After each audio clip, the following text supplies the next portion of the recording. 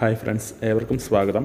Kerala P S C കനത്ത മഴയെ തുടർന്ന് ഒക്ടോബർ മാസം ഇരുപത്തൊന്നാം തീയതിയും ഇരുപത്തിമൂന്നാം തീയതിയും നടത്താൻ നിശ്ചയിച്ചിരുന്ന രണ്ട് പരീക്ഷകളാണ് മാറ്റിവെച്ചിരുന്നത്.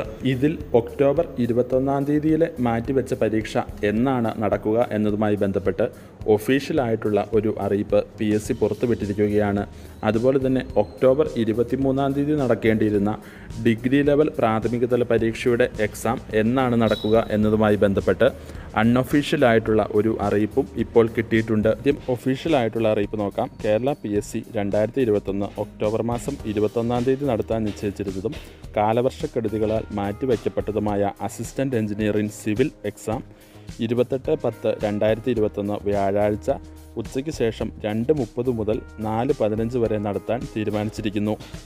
ഉദ്യോഗാർത്ഥികൾക്ക് നിലവിൽ ലഭ്യമായിട്ടുള്ള അഡ്മിഷൻ ടിക്കറ്റ് ഉപയോഗിച്ച് തന്നെ പരീക്ഷയ്ക്ക് ഹാജരാകാവുന്നതാണ്. മാറ്റിവെച്ച ഡിഗ്രി ലെവൽ പ്രിലിമിനറി എക്സാമുമായി ബന്ധപ്പെട്ടതാണ് അൺഒഫീഷ്യൽ ആയിട്ടുള്ള അടുത്ത അറിയിപ്പ്.